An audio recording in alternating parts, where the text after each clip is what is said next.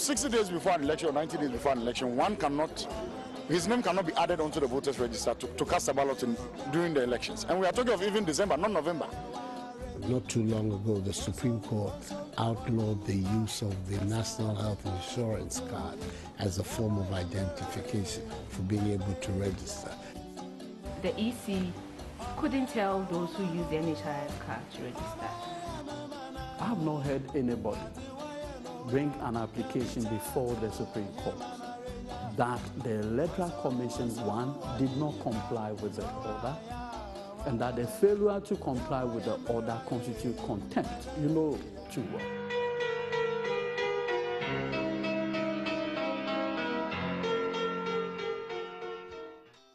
So the story about the controversy of the 2012 voters register, which was the same register that was used for the 2016 election, does not actually begin with Abu Ramadan, but it begins in 2013 with the election petition. During the election petition, something strange but interesting happened. So here's the story, as captured in many of the affidavits of the applicants, but captured better and especially in a book written by the Daily Graphic. The book is entitled The Pink Sheets, the story of Ghana's presidential election petition, and is written by famous graphic court reporter Mabel Aku Baneseh. The story is as follows that at the end of the 2012 presidential and parliamentary election vote count, President John Dramani Mahama, the winning candidate of the presidential election, garnered 5,574,761 votes in total. And the NDC parliamentary candidates, both, both those who won and those who lost, garnered 5,127,641 votes. The difference thereof is as follows 447,120. It meant that that number, 447,120 voters, actually voted for President John Dramani Mahama and did not vote for any NDC parliamentary candidate. We will then have to find who they voted for if they actually did vote both in presidential and parliamentary election. When the search was conducted by the court, it turned out that those 447,000 and over persons did not vote for any parliamentary candidate. They did not vote for NPP, CPP, or any parliamentary candidate. The question was then put to Dr. Afari-Gyan by Mr. Philip Addison at the election petition hearing. Dr. Afari-Gyan opined that if persons voted in the presidential election and did not vote in the parliamentary election, they may well be Ghanaians who registered in Ghanaian missions abroad. That is, those who worked in our embassies abroad and those who were students abroad. Asked to provide the list of persons who registered as such, Dr. Afari-Gyan produced a list constituting only and only 2,000 and a little over 800 people, less than 3,000 Ghanaians for the 2012 election had voted, had registered to vote abroad. Well, it turned out that a huge question mark remained. So, 447,000 people on the register voted only for the presidential candidate. This was certainly curious. So, that is how the election petition story ended. Soon after the election petition, Dr. Afari-Gyan had fully completed his tenure as Ghana's second electoral commissioner, and a new electoral commissioner was appointed, the first female ever to ascend to that position, the Honorable Charlotte Osei. Well and truly serve the Republic of Ghana in the office of Chair of the Electoral Commission, in the office of Chair of the Electoral Commission, and that I will uphold, and that I will uphold, preserve, preserve, protect, protect, and defend the Constitution of the Republic of Ghana as by law established. and defend the Constitution of the Republic of Ghana as by law established. So help me God. So now enter Abu Ramadan number one. What was this case about? Abu Ramadan number one was a challenge mounted at the Supreme Court seeking a declaration that the National Health Insurance Card, having been used as a breeder document to identify people to get onto the voters register of 2012, was illegal. The case that was made before the court was that the National Health Insurance Card did not identify Ghanaians. Therefore, it couldn't have been one of the documents that should have been used for the 2012 register. Article 42 provides that um, citizens who are 18 years of age and of sound mind are entitled to be registered and um, partake in um, voting in public, public elections and referenda. So that is why we went to court. When we looked at the CI 72 Regulation 1.3 had listed documents that people could use as proof of qualification. So there was passport, there was driver's license, there was national ID card, the NHIS card, and um, existing voter's ID. And if you don't have any of these, you could bring two guarantors who have persons who have already registered to guarantee for you to be put on the register. We realized that if you take each of the documents I've mentioned, on the face of it, you can tell um, the person's nationality. If you take a passport, if the person is Ghanaian, you would know. But with the NHIS card, there's no um, slot for nationality. And especially when it's not even given to just Ghanaians, it's given to all persons resident in Ghana. And the NHIS Act had defined um, resident to mean people who have um, lived in Ghana for a period of six months and, and above. So anybody in Ghana who is resident is entitled to be on the scheme and so bear the card. So um, given that on the face of the NHIS card, you cannot tell who a Ghanaian is from who is not, we thought it's not um, proper, it's not a proper form of establishing qualification to register. We are aware of the view that registration is not just about identity. You just don't take any document there which shows your face and your name to let people know you are who you say you are. It goes beyond that. We need to establish that indeed you are a Ghanaian, which the NHIS card didn't, didn't show. At the end of the hearing, the court directed the applicants and the respondents, being the Electoral Commission, to sit together and find a mechanism to resolve the issues around the voters register of 2012. This is what transpired in those meetings. So pursuant to the directives of the court, we had some meetings with the EC. The second meeting we had with them was on 30th March. And present at the meeting was were our clients, Mr. Abu Ramadan and Evans Nimako, Nana Asante Bediatuo, myself, um, um, Mrs. Georgina Opoku Amankwah, the former deputy chairperson. Mr. Amadu Sulley was also there. And we had other officials from the EC too, um, some from the Attorney General as well. And EC's lawyer too was present at that meeting. And um, the issue, at that meeting, the issue of the NHIS card holders came up. We wanted to find out whether they could um, identify persons who use the NHIS card to register. And um, Mrs. Opoku Amankwah and Mr. Amadu Sulley told us it was difficult for them to make that determination. Their reason was that if you, on the source document, they didn't have an electronic database. First of all, they didn't have an, an electronic database of registrants. And when you go to the source document too, it's also difficult to tell who used what to register, especially when, uh, given that the slot for to tell who used what card to register was just tailored for NID. So apart from the national identification card, no other card or no other identification was put there. So we even asked whether fine. Although the, the slot was for NID, couldn't they even tell by the sequence of the figures because we know that passports have a certain um, number of sequence, same for NHIS and driver's license. But they were they insisted that no, it was just tailored for NID. So apart from NID, they couldn't tell and that they had even taken a cue from um, the 2014 judgment and had now redesigned a new form for CI 91.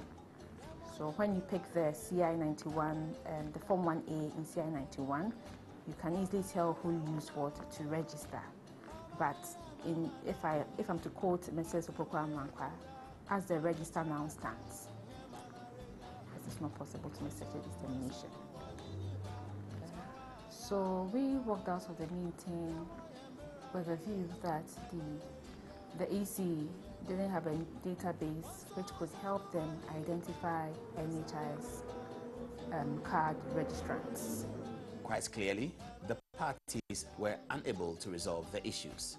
By this time, the eligibility of the National Health Insurance card as a breeder document for the creation of the 2012 Voters Register had attracted the attention of high-profile politicians. Here, in an international media interview with the opposition leader, as he then was, Nana Akufo-Addo, he spent time highlighting the issue. If you remember, not too long ago, the Supreme Court outlawed the use of the National Health Insurance card as a form of identification for being able to register. There are allegedly, you know, some millions who have done that. So all of these people are on the register, and you find that the register, therefore, is not really fit for purpose. We believe that it is in the interest of a credible process, a credible process that will allow all of us to be able to say yes, Peter Clottey, uh, the victor of the election, Akufo-Addo loser, we all accept it uh, because we will have a credible register. By this time, the tensions were high, and the Electoral Commission seemed adamant that they were unable to identify, isolate, and delete the names of persons who had registered with the National Health Insurance card. Madame Charlotte Osei, in an interview with Joy FM on Newsfile program on um, January 9th, 2016, defended why the EC could not or was not going to delete the names of the NHIS holders from the roll of um, the voters' roll. She categorically stated that we are going to end up with a register that is very elitist and excludes the large majority of Ghanaians. Thus confirming that majority of voters in fact used it to register. On 23rd July 2015, EC's Director of um, Public Affairs at the time, Mr. Chris Owusu-Parry, in an interview with Joy FM news editor Jifa Bampo, maintained that the names of persons who used the NHIS card to register were not going to be removed from the current voters' roll. Despite the Abu Ramadan judgment, he categorically stated that the Commission's position remains the same. It has not changed. The register is very, very credible and fit to be used for any elections in Ghana. From the level of disagreements from those engagements, it became inevitable that the court will have to come in again. Therefore, Abu Ramadan number two occurred. In Abu Ramadan number two, the court had found that parties were not able to resolve the matter, and therefore directed upon the Electoral Commission to proceed to delete all the names in the voters' register of persons who had used the National Health Insurance card. Even there, there was difficulty. And one afternoon at the Supreme Court in Accra, there was total drama. The court was very, very harsh on the Electoral Commission. So on 21st April 2016, um, there was hearing of the matter, and Justice Dotse came up with a question he asked EC's lawyer whether um, his client had a database that could um, tell persons who had um, registered since um, 2012. And if so, whether they could identify those who used the NHS card to register. So the lawyer said he could not on his feet make um, that determination unless he consults his client. Luckily, Madame Charlotte Osei herself was in court and Mr. Amadu Sulley, whom we had a meeting with, was also there. So um, the court permitted the lawyer to go and consult his client. This is just a simple yes or no question. So we would have thought that once he walks up to them, it's either a nod or a wink to let them, to let the lawyer know that, oh, we have. But, um, so he went to them, and just as he was about coming to, to the bar, the CJ um, said um, he want, um, she, she wants them to go out so they can talk privately because there were some media persons sitting just behind them and it wasn't too ideal for a, a lawyer-client conversation. So they stepped out of court. We waited for more than 10 minutes, they were not coming back. So the CJ sent um, some of the clerks to go and find them and bring them back to the courtroom for them to answer the question. The quote and unquote harshness of the court upon the Electoral Commission on that afternoon gave the matter of Abu Ramadan number two a second and different dimension. Three gentlemen who were hosting a radio program in Accra took turns to sort of abuse the court for their harshness against the Electoral Commission. They became known later on as the Montie Three and were found for contempt against the Supreme Court. A jail term was imposed on them, and then more drama ensued. Members of the National Democratic Congress, the ruling party, urged President John Dramani Mahama to use his authority under the Constitution and his powers of pardon to pardon the three gentlemen and get them out of prison. There was disagreement among the NDC members at this time. However, on a fateful afternoon, President Mahama exercised his authority under the Constitution to pardon the three gentlemen. Later on in an interview, President Mahama explained why he did that. There's been a controversial matter in Ghana recently uh, involving your signature and the application of your authority.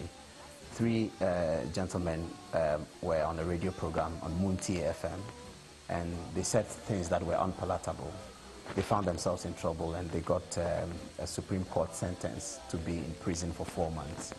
Um, their lawyers then started talking about the powers that has been given to you under the Constitution to get them out at some point uh, of, the, of the thing. Ghanaian society was broadly divided, and many people spoke about what you should do and what you shouldn't do. There's also rumors that your personal lawyer also took a position on the matter, Mr. Tony Lithur. And um, everyone was watching you. We thought there would be some pressure on you because you were being pulled both ways. Eventually, you decided to apply your authority under Article 72 to remit the rest of the sentence of these gentlemen. Um, society is still divided. Some think Mr. Mahama was wrong. Some think His Excellency was right. The authority is given to him. What underpinned your decision to, to do that? I think that the um, overriding consideration must be that all arms of government must act constitutionally. And I swore an oath on the 7th of January 2013 to abide by the Constitution. And so every action I take must be in consonance with the constitutional provisions. The young men were called before the Supreme Court and um, for contempt for scandalizing the court. And even before they were called before the court, they had shown remorse. They had apologized for what they said. Before the court, they apologized again. Um, when they were sentenced in mitigation, they asked for mercy and apologized, retracted everything they said.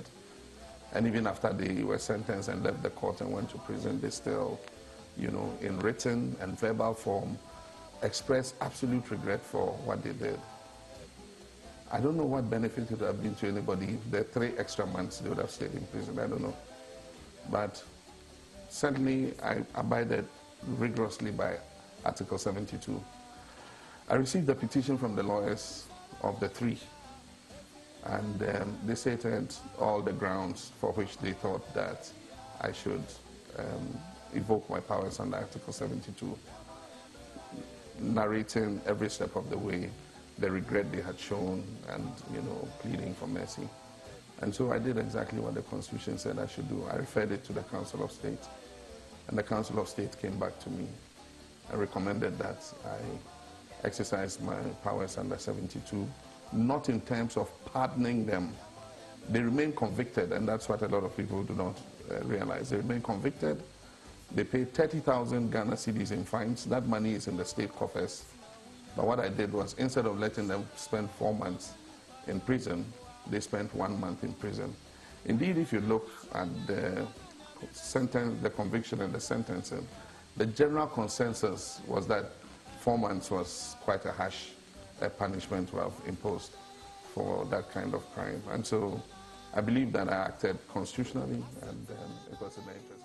At the end of the day, the big question is this Did the Electoral Commission really and truly comply with the court order?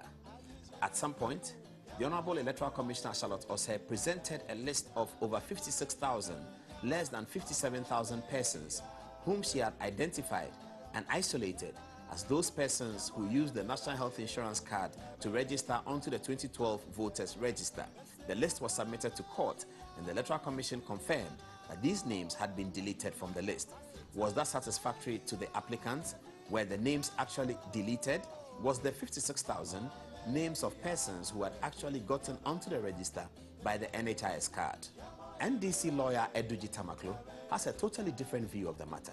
Presided over by Her Ladyship, the Chief Justice Georgina Wood. After the argument, they gave a date, and she herself wrote the judgment. She was very clear in her mind that the use of the NHIS card being the foundation or the breeder document in the registration of those individuals was unconstitutional. So the court was clear. Unconstitutional because in the, in the superior wisdom of the court, Article 42 of the 1992 Constitution sets out three important criteria or qualification to become a registered voter in this country. One, citizenship.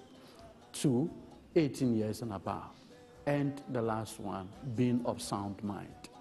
Now, in the superior wisdom of the court, the NHIS card did not have the benefit of identifying whether the person is a Ghanaian or not, because the ultimate aim is to provide health. And health is open to all of us. And so when the court decided that having used the NHIS card as the breeder document, that whole thing is unconstitutional. The court was very clear because remember that they were seeking other reliefs. One had to do with the fact that the court should even declare the old voter card that was used as a breeder document. The court denied the plaintiff that particular relief. I mean, you know, the court did not grant them. And in fact, it was in that case that Georgina Wood, CJ, as she then was, indicated clearly that the existing voter card becomes the best prima facie evidence in proof of that, you know, uh, uh, uh, what shall I say, qualification or eligibility criteria.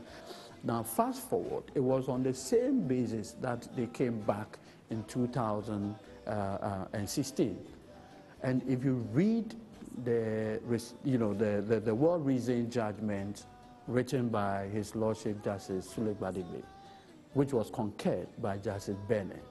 If you read that judgment clearly, the court came to the conclusion again that if those individuals who registered with the NHIS card are still on the register, then to that extent, the register cannot be reasonably accurate. And so they use the word reasonably accurate.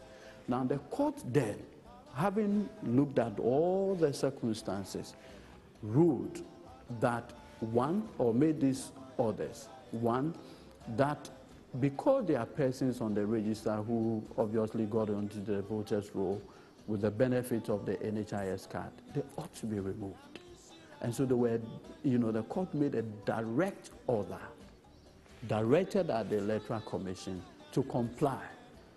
And, and, and Paul, that order of the Supreme Court, and in fact, Justice Sule Gbadegbe, in analyzing the point, made the point that, listen, failure to comply with the Supreme Court order is a high crime. It's a high crime. And so, where they make an order and you fail to comply, you have more or less, you know, you are in contempt of the Supreme Court of Ghana.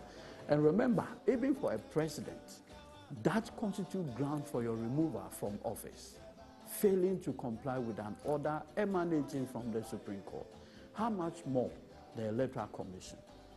I recall vividly when Abu Ramadan number two was argued, I was in court.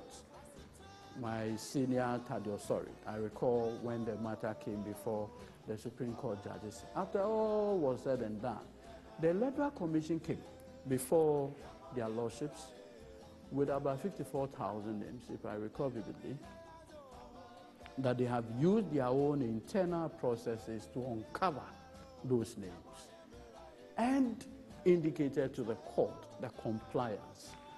Paul, since then, I have not heard anybody bring an application before the Supreme Court that the Electoral Commission, one, did not comply with the order, and that the failure to comply with the order constitute contempt. You know too well. And the Supreme Court, on the basis of that non-compliance or willful disobedience of their order, proceeding to either say the commissioners of the Electoral Commission are in contempt of the Supreme Court. Nothing whatsoever had happened. My name, Tamakloe. If you go to Aneho in Togo, the whole family with that name Tamakloe. So if you go to Togo and you see someone with the name Tamakloe, that in and of itself should not mean that the person is a Togolese. And that is how close, closely knitted we are as a people. So I have a fundamental problem. And, and if we are not careful, Paul, we may get to a point where our voters register will become the classic example of a xenophobic register. A register that is made on the basis of exclusion. On the basis of exclusion. And that is very dangerous for our forward march. Can you imagine if we all begin to ask everyone, or every one of us, are you a Ghanaian? We will be creating chaotic situation.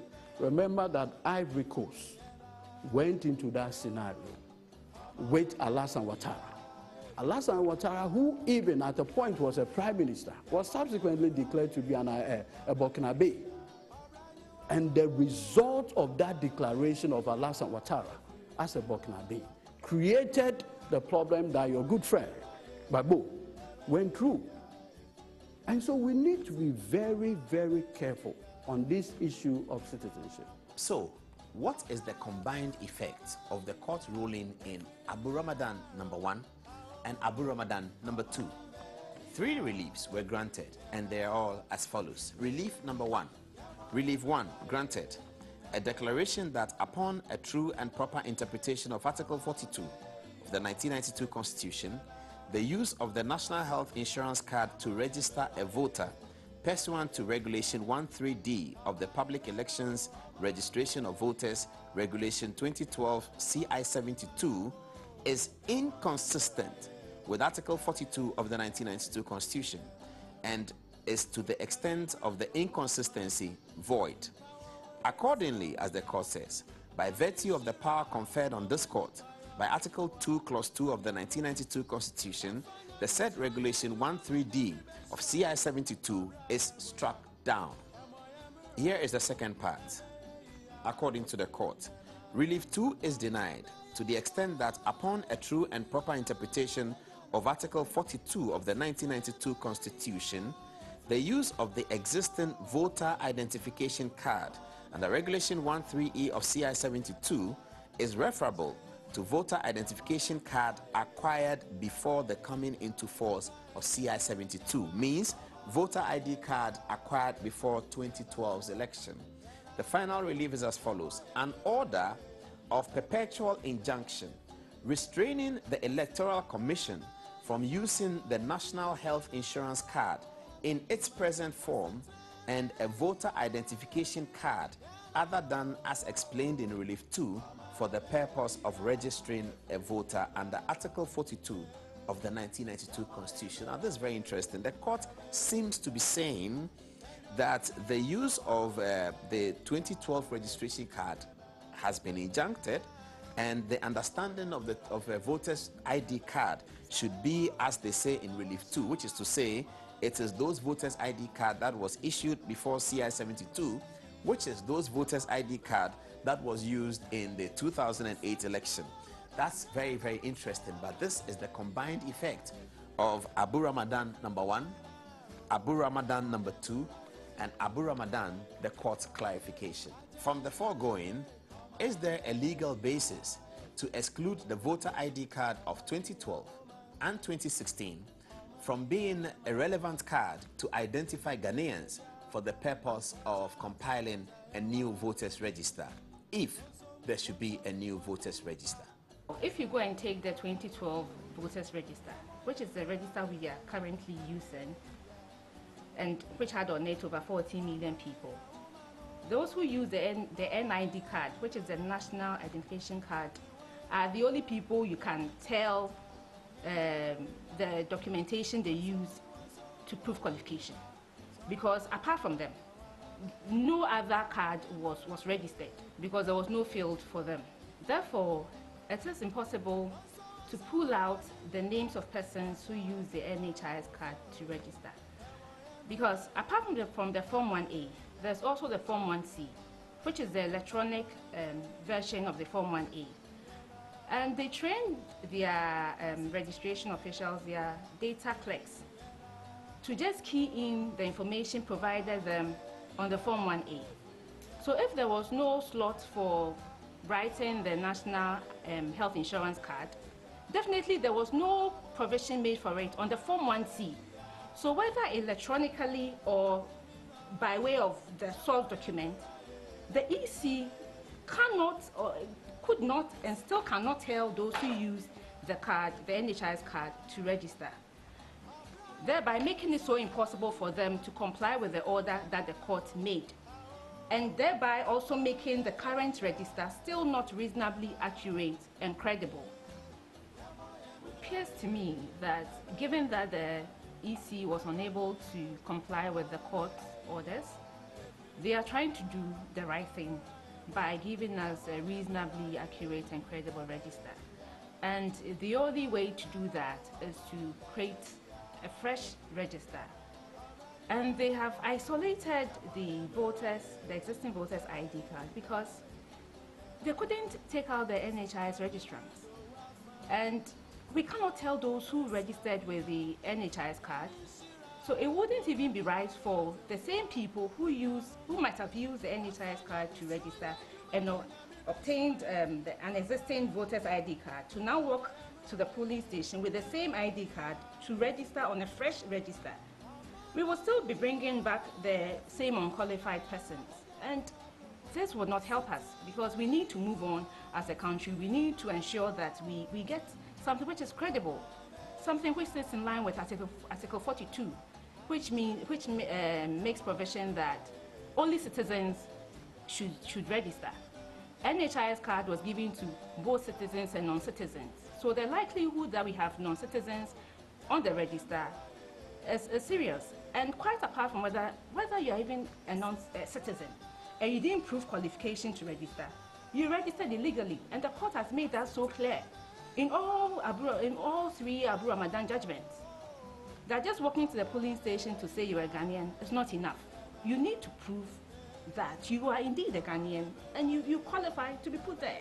So from Abu Ramadan number one, number two, and number three, the Supreme Court is now hearing another matter. This time, it is the National Democratic Congress versus the Attorney General and the Electoral Commission.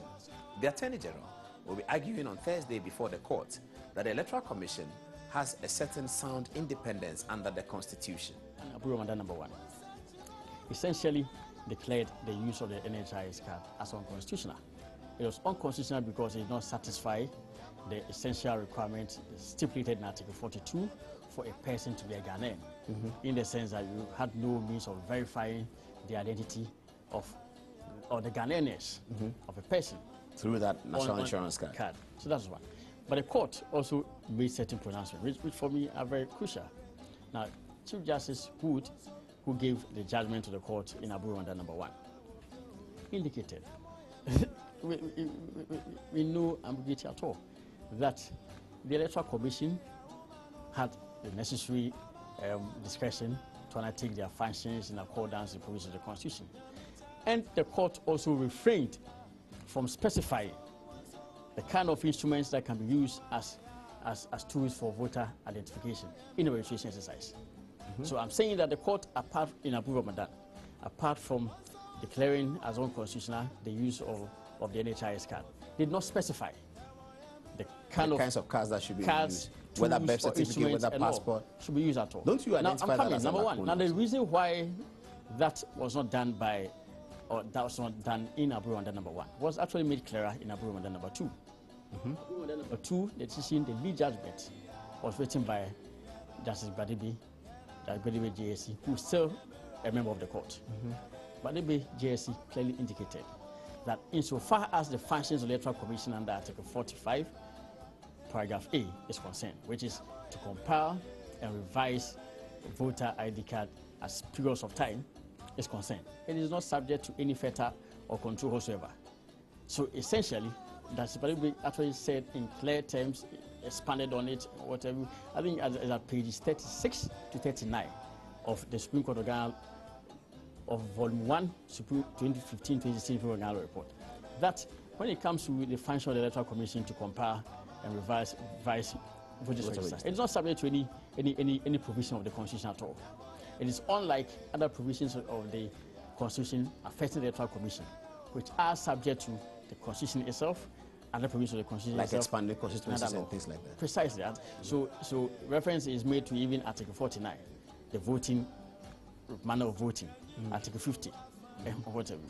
Now, if you look at Article 45A, the court says clearly, quite interestingly, that such a fashion is not subject to the control or the, they said external direction or control. But does, it, Of does, any it, person. does, it, So- so the does the point I'm making- Constitution, I mean, you're, you're a Yeah. philosophical lawyer, does the Constitution contemplate of an unfettered power? Well, good. So the point I'm making it cl- clearly, I'm, I'm very fair-minded in my analysis and whatever, is that even though Justice Gbadegbe clearly um, out this discretionary power the Electoral Commission to comply with this register, it's subject as far to only two or three requirements. The first is to enact regulations. That is in Article 51. Article 51 specifies that all functions of the Electoral Commission shall be by regulations. Once that is done, the second regulation, se- second um, um, um, factor that the Electoral Commission should be guided by is whether indeed Article 42 will be met, and that is to guarantee the right of all Ghanaians to vote. Yes. And Justice Wood actually stated in Abu Ramadan number one that there's a need to safeguard the electoral processes from voter fraud, underage voters, mm-hmm. and non-Ghanaians. So Article 42 itself must be construed in a manner that will secure the right of all Ghanaians and Ghanaians only to vote. Mm-hmm. And therefore, as far as I'm concerned, where the Electoral Commission is seeking to use any instrument or means of carrying out a voter registration exercise, the main factor that ought to be examined is whether the process by which it seeks to do so is one that is in accord with the requirement to ensure that it's only Ghanaians and Ghanaians only who, who, who, who, proceed to register. But the voter registration exercise is as important as the right to vote. The third argument I'm going to make is that indeed the existing voter registration eh, register has been exposed as far as even 2013 to be inherently flawed.